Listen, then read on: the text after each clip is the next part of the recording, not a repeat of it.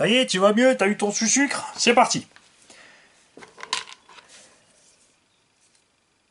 C'est donc préassemblé ici. C'est à ce moment-là seulement qu'on te dit de mettre le diff. Alors, on t'a fait monter les pièces dans ce sens. D'accord? Image suivante. Hop. On t'inverse le truc. Pourquoi? On ne sait pas. On colle le diff à l'intérieur. Là aussi, comme d'hab, on va vérifier si tout va bien.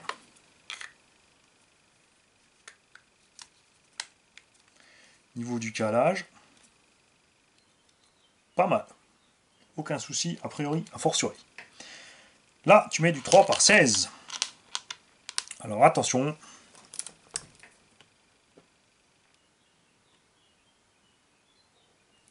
C'est bien celle-là.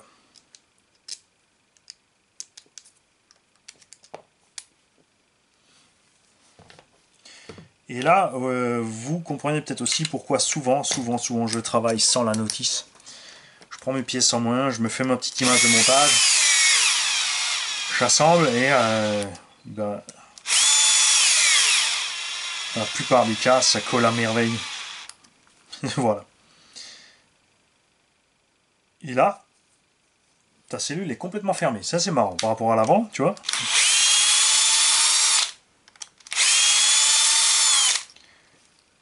Parce que là, je comptais mettre ma graisse après. Comme j'ai fait pour l'avant. Mettre ma graisse au moment où je mets, je mets ça en place. Que nenni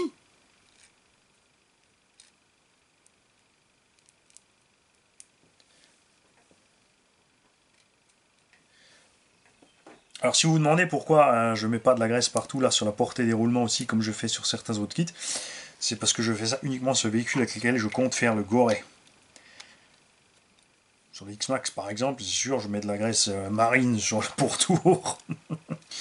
Comme ça, je suis tranquille. Celui-là, ça ne sera pas le cas.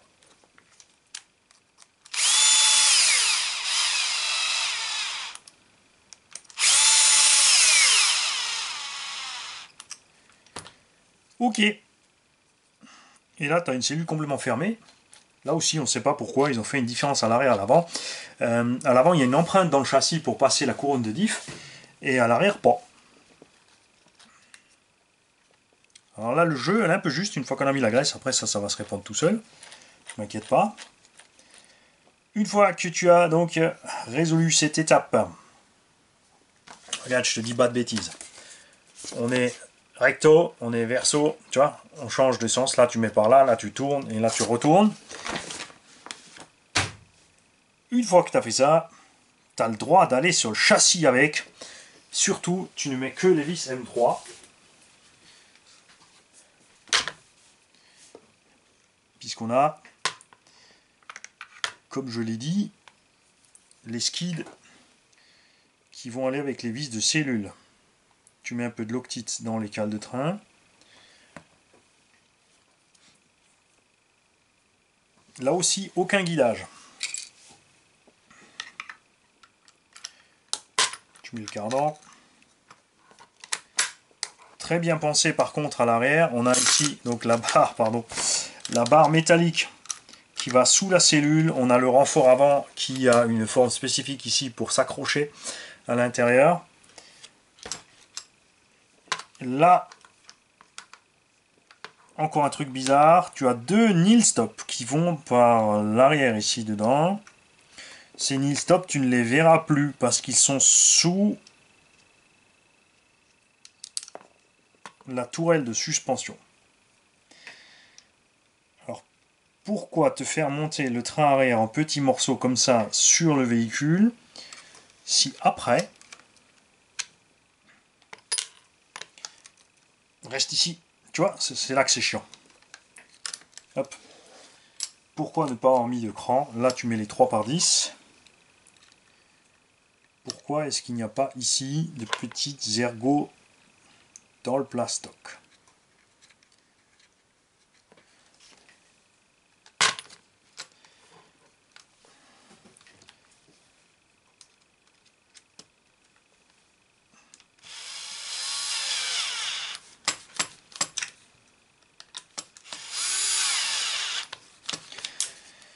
Alors, quand tu vas démonter ton train après sur le véhicule, faut le séparer entièrement du, châssis et l'enlever complet avec ceci et glisser le cardan dehors. Les knee stop ici sont capturés en dessous, tu peux pas les atteindre, tu peux pas les tenir par en haut.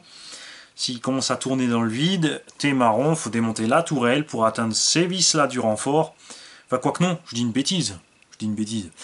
Euh, même si la tourelle est montée après, tu peux dévisser ici sans problème. Donc, je vous dis une bêtise. C'est n'importe quoi, pas bien Mani. Tais-toi Mani, c'est mieux. ben euh, ouais, c'est pareil. Il y a la tourelle qui est fixée dessus, donc euh, filetage dans ce plastique-là et dans, dans, la tourelle aurait suffi. En fait, ta, vis aurait deux, traversé deux épaisseurs de plastique. C'était pas la peine de mettre du stop là derrière. Bon après, ils ont choisi comme ça, ils ont choisi comme ça. Hein. C'est ceux qui fabriquent, ils font ce qu'ils veulent. Nous on râle, mais on n'était pas là au moment de la conception parce qu'on aurait peut-être fait beaucoup pire.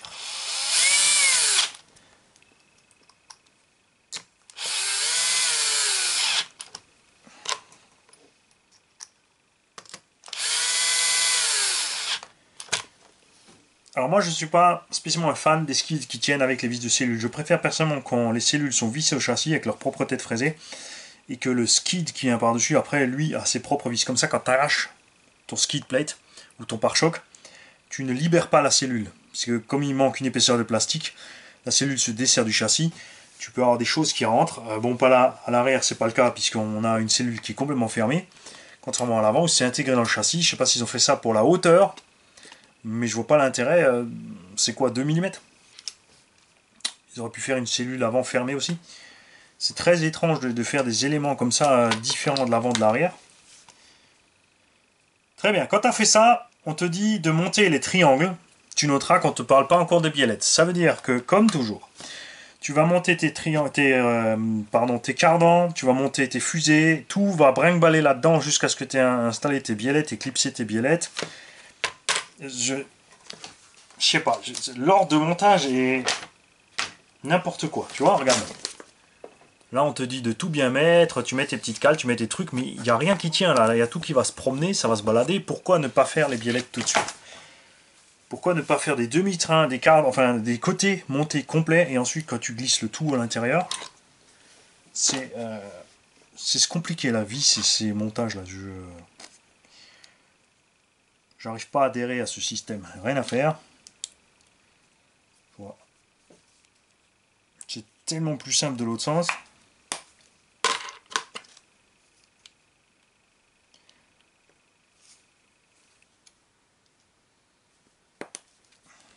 Là par contre les roulements tiennent bien, ça c'est cool. Donc méfiez-vous aussi pour ça sur euh, plein d'équipementiers euh, annexes qui font des pieds salus. L'ajustage est trop grand. Tu as les roulements qui nagent dans l'alu, c'est pas bon. Faut que ça force. Sinon ils se baladent et ils bouffent l'alu. Donc là pareil qu'avant.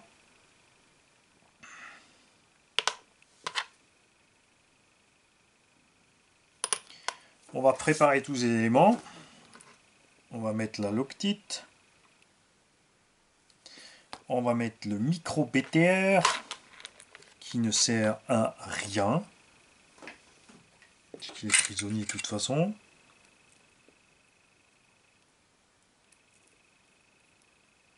Bon après peut-être dans un esprit de réduire le jeu. Mais pourquoi donc avoir mis du 2 mm ici? C'est quoi ce mini axe? Tu as des axes de suspect de 4, euh, des axes de cardan de 3, et euh, tout d'un coup devant dans la tête un ridicule petit 2.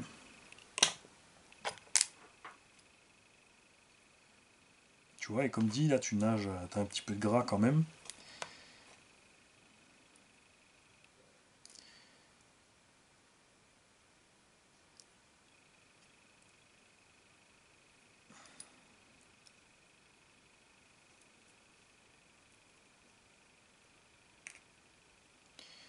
Oula, je là il va un peu dur.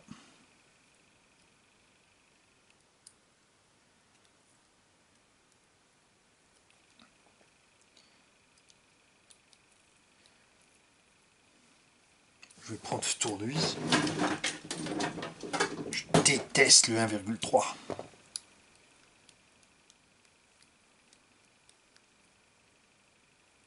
Tu vois, on a un point dur. Ça, c'est pas bon.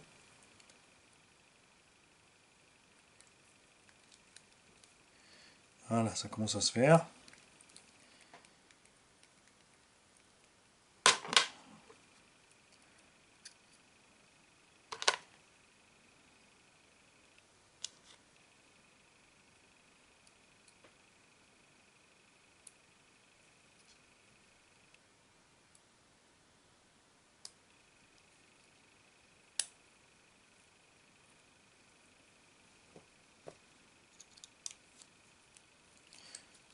Ce côté est bon. Mais là, on a un petit point dur, on a une bavure qui part.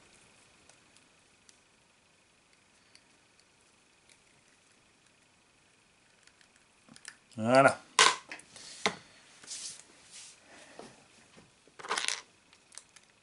Alors, tout comme pour l'avant, tu mets ça dedans. Là aussi, la jante devrait prendre le euh, l'axe sera capturé dedans normalement. On n'est pas suffisamment large pour être hors complètement du voile de la jante. on va pas laisser ça au hasard, on va quand même mettre de la loctite ici pour être sûr.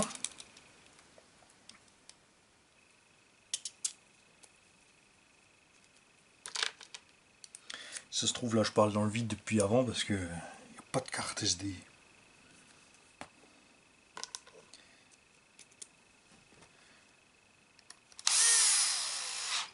Voilà. C'est quoi ça ah, Là aussi, c'est quoi cette histoire? Regarde, celui-là il marche bien. Celui-là il coince. Qui, qui, qui, qui, qui, c'est que ça?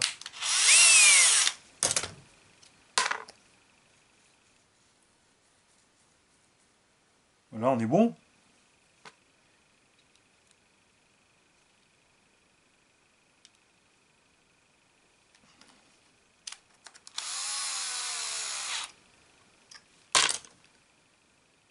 là, on coince. Mhm.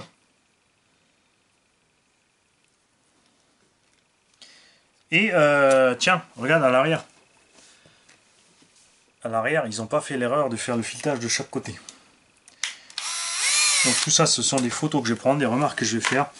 Je vais envoyer tout ça à Proline parce que c'est nimp.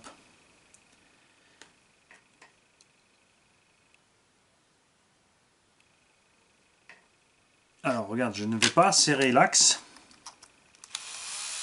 Je vais juste la mettre. Tant qu'on n'a pas serré, on est bon. C'est-à-dire qu'au moment de serrer, la portée du BTR presse l'hexagone vers l'arrière. Et à ce moment-là, on coince les roulements. Tu vois? On va dur.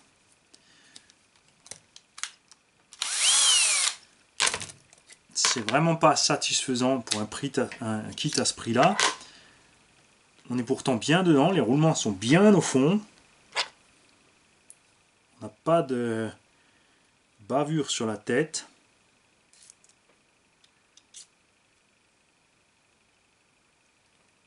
Alors c'est pas très grave, c'est des choses qui peuvent se faire après. Mais aussi la possibilité inverse, c'est qu'avec l'échauffement, ça va forcer plus.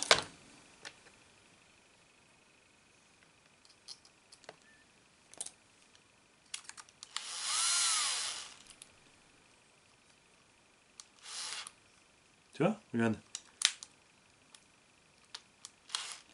Alors on va laisser celui-là euh, un peu desserré. Alors entre la tête de cardan qui va plus dur et le, roulement qui va plus dur, tout ça du même côté, je pense qu'il y a un défaut d'usinage sur cette tête de cardan.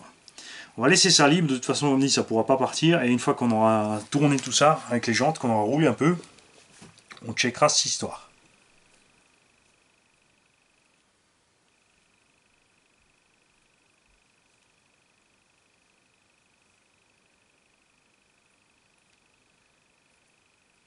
c'est clairement pas terrible.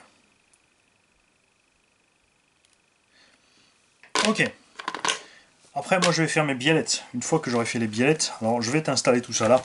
Je vais pas te montrer encore l'épisode de montage des biellettes. Je crois que tu l'as vu assez. Euh, là aussi. Donc cette vis va par derrière, ça c'est bien. Et ensuite, là aussi, gros sandwich 2 euh, mm en une seule bague. Suivi de 2 x 1.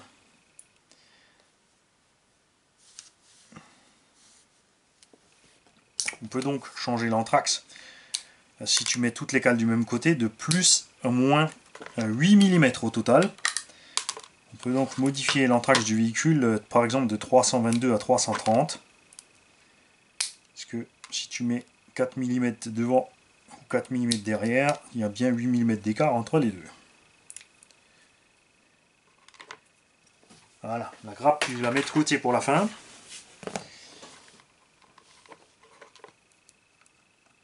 Donc ceci,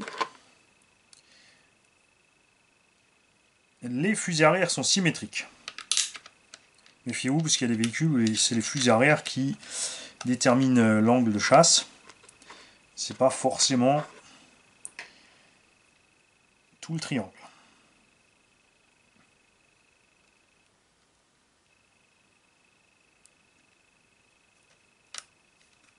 Voilà. La bonne nouvelle, on a bien la partie non filetée qui dépasse. Et qu'en serrant à fond ici, tu ne bloqueras pas. Tu ne bloqueras pas euh, le débattement, enfin le triangle.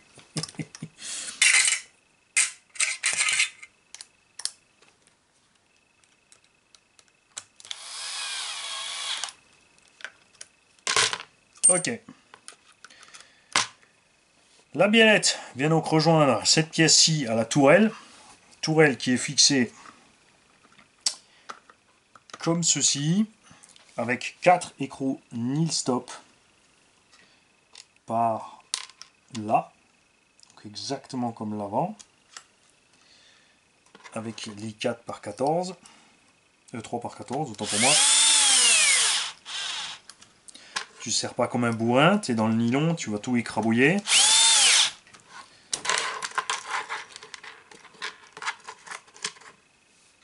Si tu n'es pas sûr, tu mets juste en contact et tu vérifies après à la main. Si tu fais tout le kit à la main, bon chance. Parce que ça, c'est long. Je sais, j'en ai fait assez.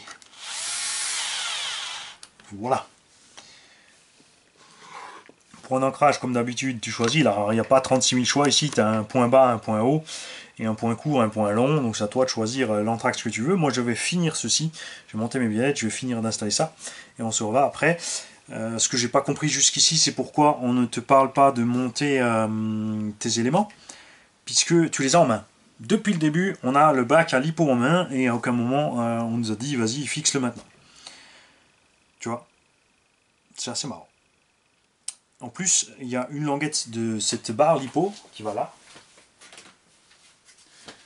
ça ici qui tu as les trois trous de fixation. Avec les stop. Et tiens c'est hyper marrant. Regarde. On a la même courbe sur cette pièce que sur le rail métallique. Si ça c'est pas un hasard euh, là aussi donc euh, ce rail métallique était utile est-ce que c'était pas possible de faire une seule pièce avec euh, cette barre nylon puisqu'elle va aussi renforcer. Après, celle-là, elle est très souple. Hein. Là, on est vraiment hyper méga souple. Euh, le fait que les sangles ne passent que à l'intérieur ici de ce petit machin, tu vois, regarde. Alors on va voir après comme ils ont prévu ça, si la sangle passe autour ou derrière, mais si elle tient uniquement ici dans cette petite lamelle, euh, là, euh, grosse déception. Hein. Ça on verra tout à l'heure. Bon après c'est pas la première déception du kit, malheureusement. Évidemment, quand tout sera fini et que j'aurai roulé, je serai content, comme d'hab, mais quand même. Et aussi, tiens, pour ceux euh, hein, qui disent toujours que le RTR, ça a du jeu à mort et tout, bout Traxas, bout Arma, bout Obao, regarde, je jeu. Tout comme Assault, tout comme euh, le Hot Bodies. Hein, jeu à tous les étages. Salut